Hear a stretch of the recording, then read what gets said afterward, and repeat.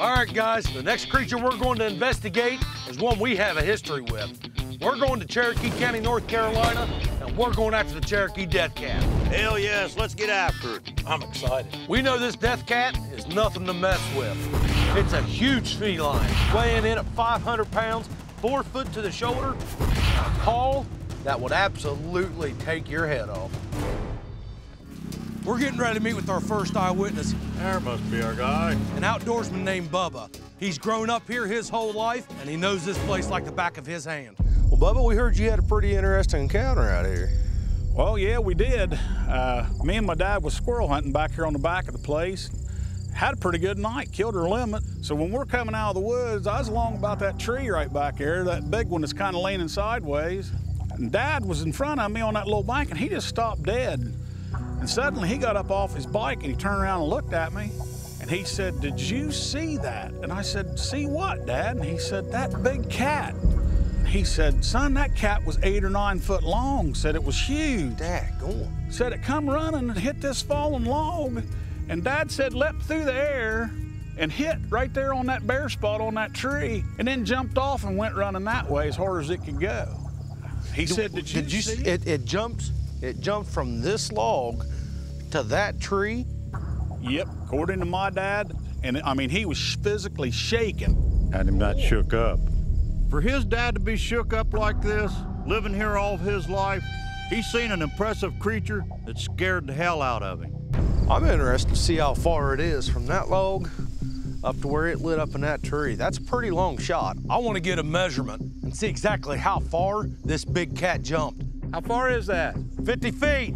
And it's another at least six foot to where it landed at. You're looking at 54, 55 feet. Wow.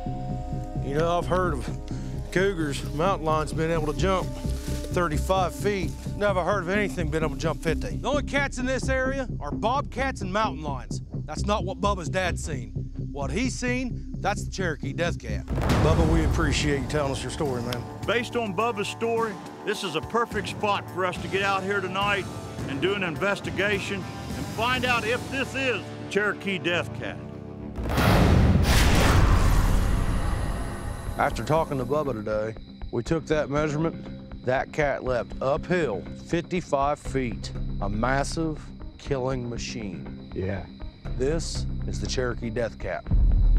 So we head out this way, start working back and forth, see if we can find any sign that the Cherokee Death Cat's still in this area.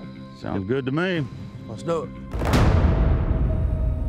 These big predator cats, they don't fool around. This thing could be on top of you before you blink your eyes, and you're done.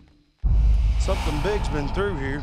There's bare dirt where leaves are kicked up. It's almost like we jumped something. Hold it for a minute. What's wrong, Jeff? I got something glowing right in the bottom of that tree right there. About 20 yards. Oh, check this out. There's a pea oh. post. This is fresh pea, dude. Oh, wow. You can smell it. Oh, yeah, look at those claw marks. Dad, go on. It was just here, wasn't it? We just found a scent post. You can see claw marks almost seven feet in the air and fresh urine at the base of the tree. This has to be the death cat. Look at all this dirt kicked up through here. Well, we definitely got a cat in here, don't we? Without a doubt. Look at that old tree. It's a dandy, ain't it? Turkey loves flying up in big old trees like that, man. Oh, did you hear that? Yeah, I heard it. Right up here. Sounds like something walking. Hey guys, there's claw marks on this tree. It was right up through here, Huck. Right up through It here. was. Did you hear it? Yeah, I heard it. Right there, right there, right there, right there, right there, right there. Right there. Run that thermal, Jeff. Run that thermal. Got movement, brush Right there, right there, right there. Come on, let's go. Hey guys, Move, move, Stay move. right on it, Buck. Be careful. It's getting thick. Stay right on it. It was going right through here, right through here. Jeff, you got anything on thermal? Right through Won't here. Right through here. You can see where it tore through here.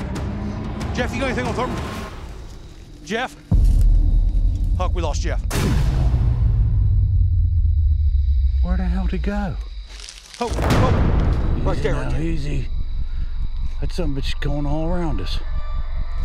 It's right by Jeff. It's right by Jeff. Jeff, get down! Get down! We gotta go. We gotta go. We gotta go. Let's go, let's go, let's go. Jeff! Yeah. Jeff! Yeah. Here's the tree we left him at. He's not here. Huck, we lost him. Jeff! Jeff! Jeff! Jethro! I got a light. What? I I got a light. Let's go. Come on. Jeff!